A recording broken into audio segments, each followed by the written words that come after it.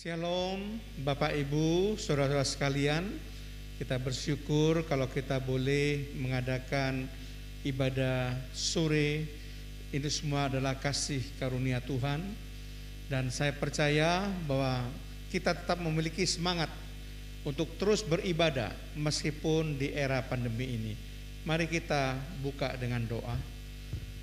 Tuhan terima kasih kalau Tuhan mengizinkan kami untuk kami boleh mengadakan ibadah pada sore hari ini Tuhan. Kiranya Tuhan tetap memberikan kepada kami hati yang penuh sukacita, hati yang penuh damai sejahtera. Meskipun kami hidup di era pandemi ini, kami tetap ingin beribadah kepada Tuhan. Kami yakin dan percaya Rasa sukacita kami untuk memuji dan memuliakan nama Tuhan tidak pernah surut Tuhan. Bahkan sukacita kami untuk mendengarkan kebenaran firman Tuhan juga tidak akan pernah surut. Iblis dan roh jahat yang ingin mengganggu jalannya ibadah di dalam nama Tuhan Yesus Kristus kami usir keluar. Darah Yesus hancurkan setiap pekerjaan iblis dan roh jahat. Terpujilah namamu Tuhan. Di dalam nama Tuhan Yesus Kristus Tuhan akan pimpin ibadah ini dari permulaan sampai pada akhirnya. Dan setiap jemaat yang beribadah kami yakin dan percaya mereka akan diberkati oleh Tuhan. Dalam nama Tuhan Yesus. Haleluya. Amin. Salam. Jemaat. Selamat sore. Tuhan Yesus berkati kita semua berjalan bersama dengan Tuhan. Tuhan menjanjikan sukacita damai sejahtera dan berkelimpahan dalam hidup setiap kita. Haleluya.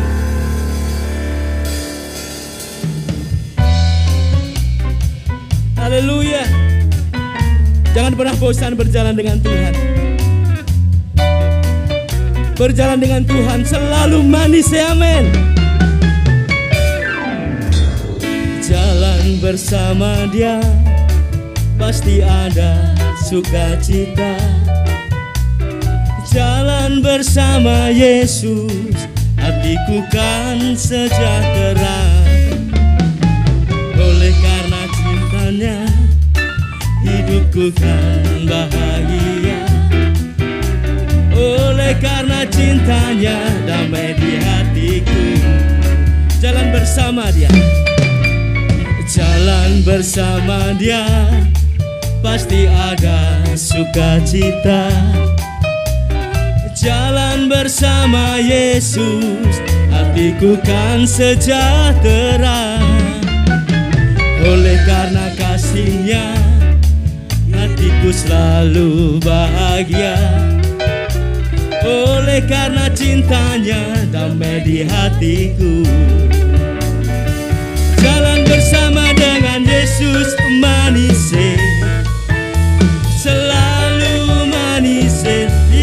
bersama dengan Yesus manis Selalu manis Bersama dia. Bersama dia. Bersama dia. Bersama dia. Sungguh manis Jalan bersama dia Pasti ada sukacita. Amin. Jalan bersama Yesus Hatiku kan sejahtera. Oleh karena kasihnya Hidupku selalu bahagia. Oleh karena cintanya Oleh karena cintanya Damai di hatiku. Jalan bersama Jalan bersama dengan Yesus manis Selalu manis Hidup di dalam Tuhan Yesus manis. Selalu manis Bersama dia Bersama dia Bersama dia Bersama dia. Sungguh manis. Mari berjalan Jalan bersama dengan Yesus manis Selalu manis Hidup di dalam Tuhan Yesus manis Selalu manis Bersama dia. Bersama dia. Bersama dia Bersama dia Sungguh manis bersama dia.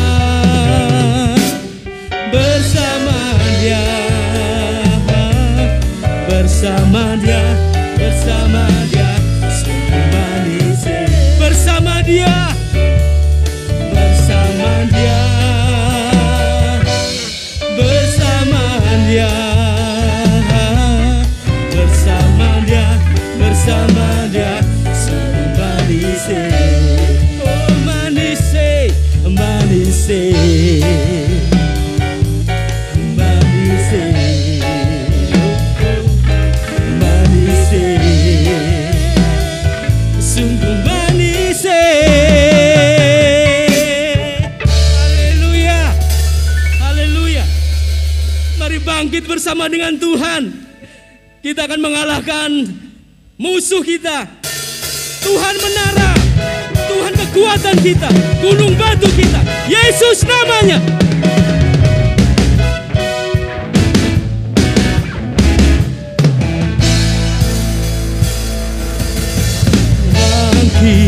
Serukan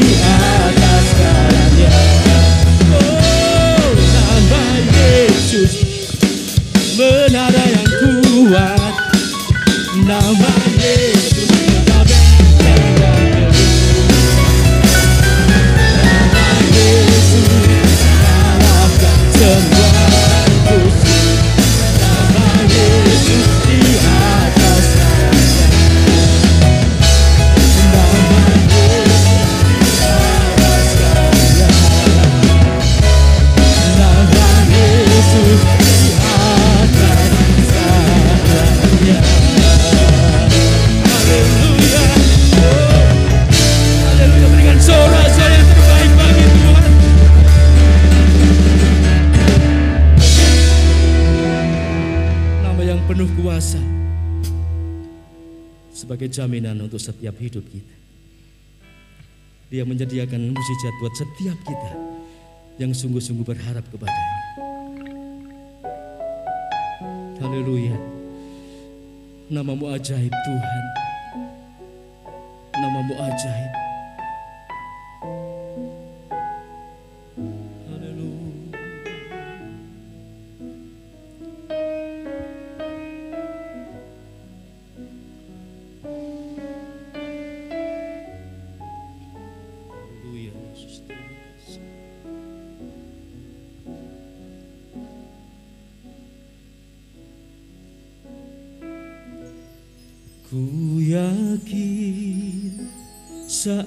Kau berfirman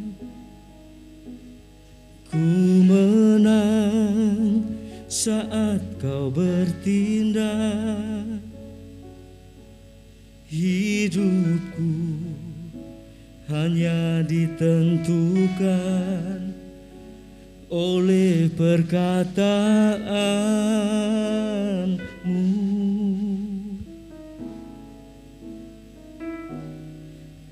aman karena kau menjaga. Ku kuat karena kau menopang hidupku hanya ditentukan oleh kuasamu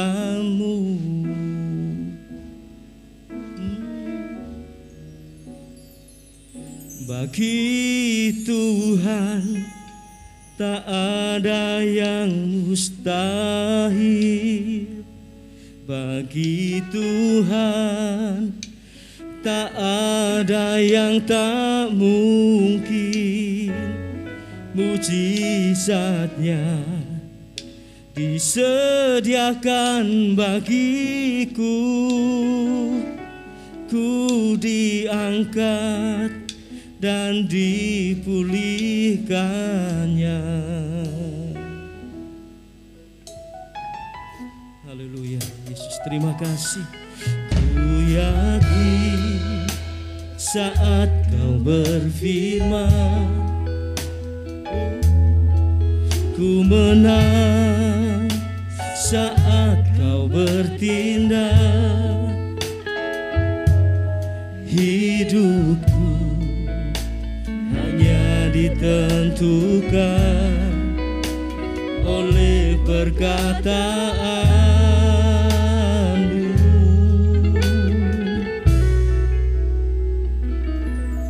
Ku aman karena kau menjaga. Ku kuat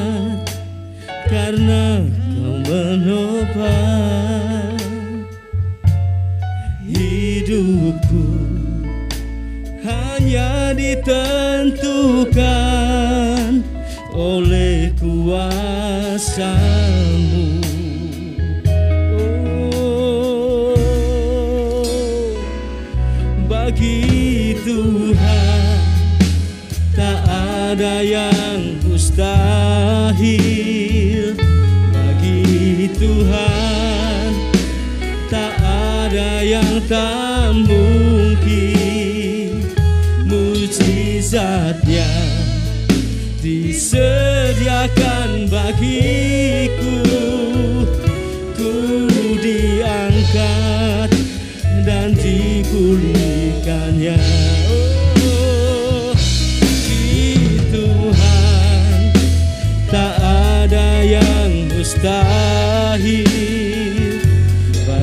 Tuhan tak ada yang tak mungkin mujizatnya disediakan bagiku. Ku diangkat dan dipulihkannya. Ku diangkat dan dipulihkannya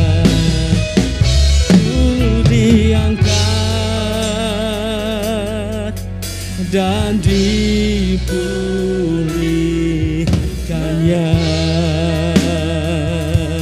Haleluya. Terima kasih Tuhan.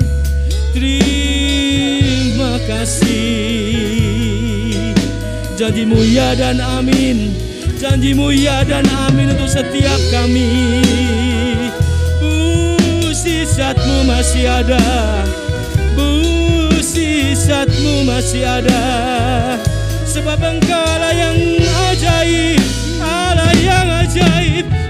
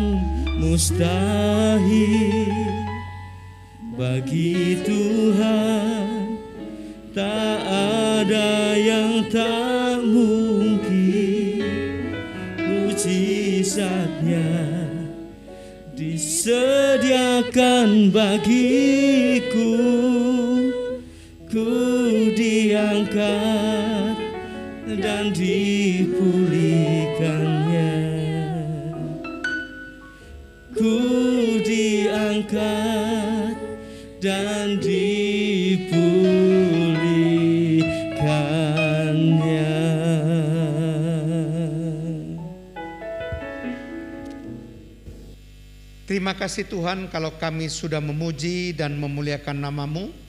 Kami percaya Tuhan hati kami sudah dibajak menjadi tanah yang gembur yang siap menerima taburan benih firman Allah. Sehingga firman Allah yang kami terima Tuhan akan menumbuhkan kami menjadi orang-orang yang dewasa rohani. Terpujilah namamu Tuhan, kami juga percaya iblis dan roh jahat sudah diusir keluar, tidak bisa mencuri benih firman Allah. Roh Kudus tetap memimpin kami dalam pengertian-pengertian hikmat kebijaksanaan untuk kami boleh mengerti akan rahasia kebenaran firman-Mu, mengerti akan pewahyuan-pewahyuan ilahi. Di dalam nama Tuhan Yesus Kristus. Haleluya. Amin. Shalom Bapak Ibu, saudara-saudara sekalian. Pada kesempatan sore hari ini saya ingin membawakan satu kebenaran firman Tuhan yang saya beri judul tanda kedewasaan rohani. Bapak Ibu, Saudara sekalian, kenapa saya harus membahas tema ini? Karena kita tahu hati Tuhan Yesus Kristus menginginkan agar semua orang-orang percaya itu boleh bertumbuh menjadi dewasa rohani. Tuhan tidak ingin supaya kerohanian kita menjadi stagnan yang tetap tidak bertambah, tidak berkembang dan tidak bertumbuh.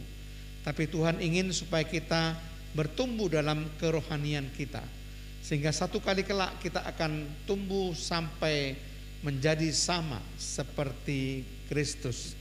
Nah, saudara sekalian, mari kita akan selidiki di dalam firman Tuhan bagaimana tanda kedewasaan rohani itu. Tanda yang pertama dari orang yang dewasa rohani adalah memiliki kasih yang melimpah. Kalau kita perhatikan di dalam hukum kasih, ini ada dua hukum kasih. Maka saudara akan mendapatkan satu pernyataan dari firman Tuhan bahwa semua hukum Taurat dan kitab para nabi bergantung pada kasih. Dan bahkan juga Tuhan mengatakan bahwa kalau kita mengasihi Tuhan dan kita juga mengasihi sesama, maka kita mengasihi dengan kualitas yang terbaik. Tuhan tidak ingin yang setengah-setengah. Itu tandanya bahwa sungguh-sungguh kasih itu penting bagi orang yang dewasa rohani. Mari kita akan membaca Matius pasal 22 ayat 37 sampai 40. Jawab Yesus kepadanya, kasihilah Tuhan Allahmu dengan segenap hatimu dan dengan segenap jiwamu dan dengan segenap akal budimu.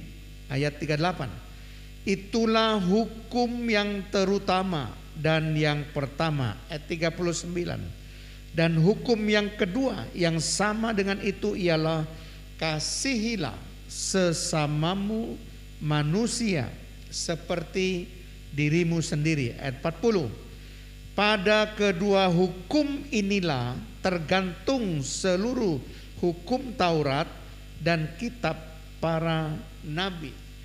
Jadi kedua hukum kasih yaitu kasihlah Tuhan Allahmu dengan segenap hatimu, dengan segenap jiwamu dan dengan segenap akal budimu dan kasihlah sesamamu manusia seperti dirimu sendiri. Itu tergantung seluruh hukum Taurat dan kitab para nabi, Saudara. Jadi betapa pentingnya kasih yang melimpah di dalam kehidupan seorang yang dewasa rohani. Kepentingan kasih ini ditekankan karena kita harus mengasihi dengan kualitas yang terbaik, ya.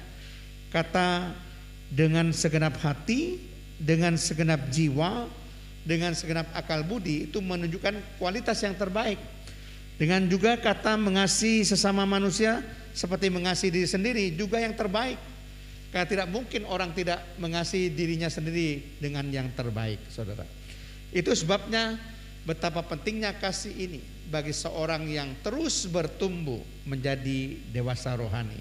Nah, kita akan melihat tanda kedewasaan rohani yang kedua itu adalah memiliki pengetahuan tentang firman Allah. Memiliki pengetahuan tentang firman Allah atau kaya akan firman Allah. Karena ketika kita kaya akan firman Allah, maka kita akan bisa menjadi lebih bijaksana, kita akan bisa menjadi lebih berakal budi, dan kita akan bisa menjadi lebih memiliki pengertian. Mari kita lihat Mazmur 119 ayat 97 sampai 100 dikatakan demikian. Ayat 97, betapa ku cintai Tauratmu, aku merenungkannya sepanjang hari. Ayat yang ke-98, perintahmu, perhatikan, perintahmu membuat aku lebih bijaksana daripada musuh-musuhku. Sebab selama-lamanya itu ada padaku. Ayat 99 aku lebih berakal budi sekali lagi aku lebih berakal budi daripada semua pengajarku sebab peringatan peringatanmu kurenungkan. Kemudian ayat 100 Aku lebih mengerti, sekali lagi lebih mengerti daripada orang-orang tua sebab aku memegang titah-titahmu. Nah saudara sekalian firman Tuhan yang membuat kita menjadi lebih bijaksana, firman Tuhan yang membuat kita menjadi lebih berakal budi, firman Tuhan yang membuat kita menjadi lebih mengerti atau lebih memiliki pengertian. Jadi tidak bisa lepas kedewasaan rohani itu dengan pengetahuan atau kekayaan akan firman Tuhan. Semakin kaya akan firman Tuhan, kita akan menjadi semakin dewasa rohani. Itu sebabnya kenapa kita harus memiliki gaya hidup untuk membaca firman Tuhan setiap hari. Di mana kita akan renungkan firman Tuhan dan kita akan lakukan firman Tuhan dalam kehidupan kita sehari-hari karena kita tahu itu akan membantu kedewasaan rohani kita. Mari akan kita melihat tanda kedewasaan rohani yang ketiga adalah memiliki panca indera yang terlatih. Tujuannya apa saudara? Memiliki panca indera yang terlatih adalah supaya kita bisa membedakan yang baik daripada yang jahat. Jadi ketika panca indera kita terlatih, kita bisa tahu mana hal yang baik, mana hal yang jahat. Mari kita akan membaca saudara Ibrani pasal yang kelima ayat yang ke-14. Tetapi makanan keras adalah untuk orang-orang dewasa yang karena mempunyai panca indera yang terlatih untuk membedakan yang baik daripada yang jahat. Nah, kita sudah mengerti di sini bahwa orang-orang yang dewasa rohani itu adalah orang-orang yang makanannya adalah makanan keras, bukan lagi susu, saudara. Dan orang yang makan makanan keras disebutkan di sini adalah orang-orang yang dewasa. Dan orang-orang yang dewasa panca indranya terlatih saudara. Sehingga dia bisa membedakan mana yang baik dan mana yang jahat. Itu tanda kedewasaan rohani yang ketiga. Mari kita akan melihat tanda kedewasaan rohani yang keempat adalah memiliki pertumbuhan di dalam segala hal ke arah Kristus. Sekali lagi, memiliki pertumbuhan di dalam segala hal kepada Kristus. Kalau kita memiliki pertumbuhan di dalam segala hal, ke arah Kristus, maka kita tidak mudah lagi diombang-ambingkan oleh rupa-rupa angin pengajaran, oleh permainan palsu manusia, oleh kelicikan manusia yang menyesatkan, saudara. Dan kita akan menjadi dewasa, bukan lagi anak-anak yang mudah diombang-ambingkan pengajaran sesat tersebut. Hal ini ditegaskan di dalam Efesus pasal yang keempat, ayat yang ke-14 sampai ayat yang ke-15. Di situ dikatakan dengan sangat jelas ayat 14 sehingga kita bukan lagi anak-anak. Perhatian kata-kata bukan lagi anak-anak berarti kita adalah orang-orang dewasa.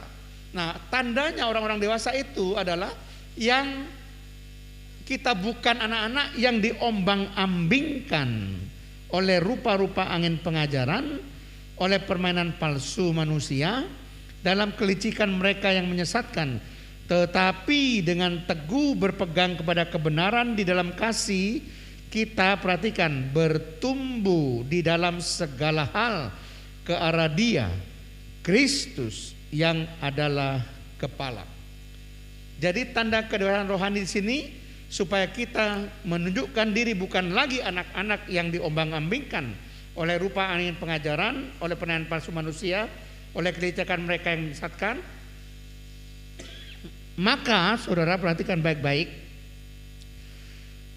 kita harus bertumbuh di dalam segala hal ke arah Kristus. Jadi dalam segala hal, segala bidang kehidupan apa pun saudara. Kita harus bertumbuh ke arah Kristus yang menjadi patokan kita. Itu tanda kedewasaan rohani yang keempat. Tanda kedewasaan rohani yang kelima adalah berintegritas. Sudah perhatikan baik-baik, seorang yang dewasa rohani itu pasti seorang yang berintegritas. Seorang yang berbicara sebagaimana mestinya. Seorang yang memiliki maksud-maksud yang murni. Seorang yang tidak mengambil keuntungan dari firman Tuhan. Tetapi yang sungguh-sungguh menyampaikan firman Tuhan apa adanya Mari kita akan melihat di dalam 2 Korintus pasal yang kedua ayat yang ke-17. Di situ dikatakan sebab kami tidak sama dengan banyak orang lain yang mencari keuntungan dari firman Allah. Sebaliknya dalam Kristus kami berbicara sebagaimana mestinya dengan maksud-maksud murni atas perintah Allah dan di hadapannya. Jadi ini menggambarkan seorang dewasa rohani yang memiliki integritas yaitu orang-orang yang tidak mencari keuntungan dari firman Allah, orang-orang yang berbicara sebagaimana mestinya dengan maksud-maksud yang murni, Saudara, ya. Bahkan kalau Saudara perhatikan bagaimana orang-orang berintegritas digambarkan oleh sabda Yesus di dalam Matius 5 ayat 37 dikatakan jika iya hendaklah kamu katakan iya jika tidak, hendaklah kamu katakan tidak. Apa yang lebih daripada itu berasal dari si jahat. Jadi kata-kata ini mengatakan kita harus berbicara sebagaimana mestinya. Kalau iya katakan iya. Kalau tidak katakan tidak. Itulah orang-orang yang berintegritas. Semua orang yang dewasa rohani pasti adalah orang-orang yang berintegritas. Nah, kita akan melihat tanda kedewasaan rohani yang keenam yaitu memiliki kebiasaan melakukan perbuatan baik. Memiliki kebiasaan melakukan perbuatan baik. Seorang yang dewasa rohani selalu melakukan perbuatan baik sesuai dengan rencana Allah. Dan kita akan hidup sebagaimana Allah merencanakan atau memaksudkan kita di mana Orang-orang yang menjadi ciptaan Allah itu selalu melakukan perbuatan yang baik yang sudah dipersiapkan Allah sebelumnya. Mari kita memiliki itu dalam Efesus 2 ayat yang ke-10. Karena kita ini buatan Allah, diciptakan dalam Kristus. Perhatikan, diciptakan dalam Kristus Yesus untuk melakukan perbuatan baik yang dipersiapkan Allah sebelumnya. Ia mau supaya kita hidup di dalamnya. Jadi kita ini diciptakan di dalam Kristus Yesus untuk melakukan pekerjaan yang baik. Di mana itu sudah dipersiapkan oleh Allah sebelumnya. Jadi maksud kita diciptakan, kita harus melakukan perbuatan yang baik. Itu menunjukkan orang-orang yang dewasa rohani. Yang hidup menurut rencana Allah. Di mana Allah memang merencanakan dan menciptakan kita. Supaya kita selalu melakukan perbuatan baik.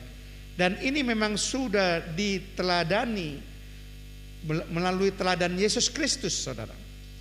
Yesus selalu melakukan perbuatan baik di dalam dia menyebarkan pemberitaan Injil. Kalau ada kesempatan, dia selalu melakukan perbuatan baik. Melihat orang-orang yang menderita kelaparan, dia akan memberikan makanan. Orang-orang yang sakit, dia akan menyembuhkan. Orang-orang yang kerasukan setan, dia akan mengusir setan-setan dan roh-roh jahat. Jadi selalu perbuatan baik dilakukan oleh Tuhan Yesus Kristus. Karena itulah sebabnya Yesus punya hati yang penuh belas kasihan. Kita juga harus punya hati yang sama. Kita harus punya kebiasaan melakukan pekerjaan yang baik. Itulah maksud Allah bagi kita orang-orang yang dewasa rohani. Tanda kedewasaan rohani yang terakhir yang ketujuh adalah memiliki tujuan untuk memuliakan Allah. Memiliki tujuan untuk memuliakan Allah. Orang-orang yang dewasa rohani selalu memuliakan Allah dalam setiap gerak tingkah lakunya. Banyak sekali ayat-ayat yang menyatakan ini. Mari kita akan menyelidiki beberapa dalam 1 Korintus 10 ayat 31. Dikatakan Aku menjawab, jika engkau makan atau jika engkau minum atau jika engkau melakukan sesuatu yang lain, jadi segala sesuatu yang lain yang kita lakukan dalam hidup kita, lakukannya semuanya itu untuk kemuliaan Allah. Ini jelas apa pun yang kita lakukan dalam hidup kita ini, lakukan untuk kemuliaan Allah. Dalam Injil Yohanes 15 ayat 8 itu dikatakan bahwa kita harus mempermuliakan Bapa. Bagaimana cara mempermuliakan Bapa? Yaitu dengan cara berbuah banyak. Nah, kita akan melihat Yohanes 15 ayat 8.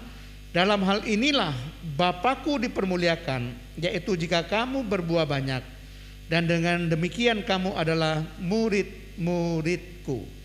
Demikian juga orang-orang yang dewasa rohani itu harus memberikan dampak bagi orang-orang di sekitarnya. Sehingga akhirnya mereka melihat apa yang kita lakukan, mereka juga memuliakan Allah. Jadi kita seperti terang dunia, ya. Bukan seperti terang ya seperti terangnya, Saudara. Terang itu itu selalu menerangi kegelapan, memberikan dampak kepada sekitarnya. Tuhan katakan, "Akulah terang dunia."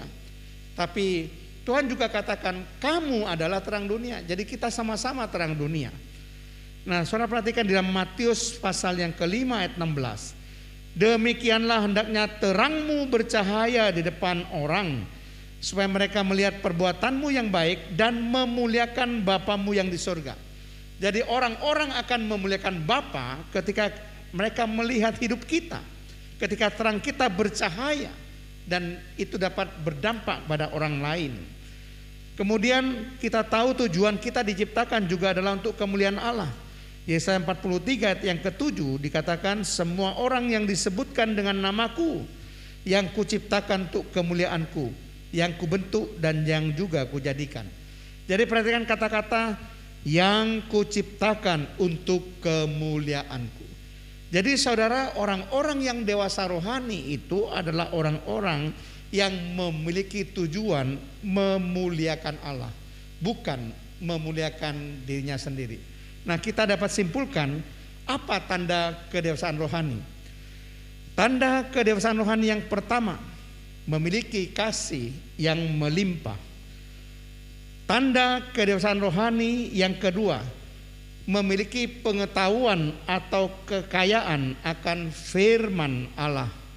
tanda kedewasaan rohani yang ketiga memiliki panca indera yang terlatih sehingga dapat membedakan yang baik daripada yang jahat. Tanda kedewasaan rohani yang keempat memiliki pertumbuhan di dalam segala hal ke arah Kristus. Tanda kedewasaan rohani yang kelima memiliki integritas. Tanda kedewasaan rohani yang keenam memiliki kebiasaan melakukan perbuatan baik. Tanda kedewasaan rohani yang ketujuh yang terakhir memiliki tujuan untuk memuliakan Allah. Amin. Mari kita berdoa. Tuhan terima kasih kalau hambamu sudah menyampaikan kebenaran firmanmu. Biar firman Allah ini tetap kami simpan dalam hati kami Tuhan. Untuk terus bertumbuh. Sehingga kami boleh bertumbuh dalam kedewasaan rohani. Sampai kami diubahkan sama seperti Yesus Kristus. Tuhan juga berkati setiap persembahan persepuluhan yang diberikan jemaat untuk pejalan Tuhan di tempat ini pakai GPS Jemaat Sawahan menjadi saluran berkat Tuhan untuk bisa memberkati orang-orang lain. Juga Tuhan kami berdoa untuk negara kami Republik Indonesia. Bapak Presiden, Wakil Presiden, para menteri, TNI Polri agar mereka semuanya boleh memerintah negeri ini dengan takut akan Tuhan. Dan juga Tuhan mereka semuanya boleh membawa bangsa Indonesia mencapai masyarakat adil dan makmur material dan spiritual Tuhan. Bahkan empat pilar kebangsaan bisa tegak berdiri di bumi Nusantara ini, baik Pancasila, UUD 45 dan NKRI dan Bhinneka Tunggal Ika. Tuhan, kami juga berdoa agar setiap berkat-berkat-Mu itu jadi atas kami sesuai dengan firman-Mu itu sebabnya pada saat ini Tuhan hambamu akan mengimpartasikan berkat kepada seluruh jemaat. Di dalam nama Tuhan Yesus Kristus, Tuhan memberkati segala usaha pekerjaan saudara. Dalam nama Tuhan Yesus Kristus, Tuhan memberkati segala pelayanan saudara. Di dalam nama Tuhan Yesus Kristus, Tuhan memberkati saudara dengan umur yang panjang. Tuhan memberkati saudara dengan kesehatan ilahi Tuhan memberkati saudara dengan pemeliharaan Allah. Tuhan memberkati saudara dengan perlindungan Allah dan Tuhan memberkati saudara dengan penyertaan Allah dari sekarang dan sampai selama-lamanya. Bahkan kami secara turun temurun keturunan kami diberkati dengan keberhasilan dan keberuntungan dan Tuhan rancangkan masa depan yang penuh harapan. Kasih karunia daripada Allah Bapa, cinta kasih Allah Putra serta persekutuan Allah Roh Kudus memberkati dan menyertai kami semuanya mulai sekarang dan sampai selama-lamanya. Dalam nama Tuhan Yesus Kristus. Haleluya. Amin.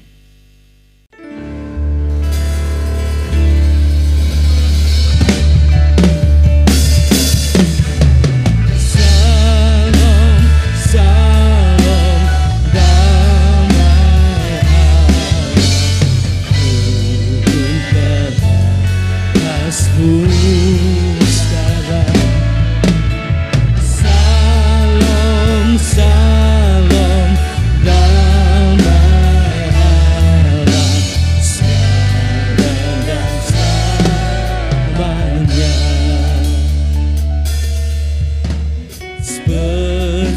sungai.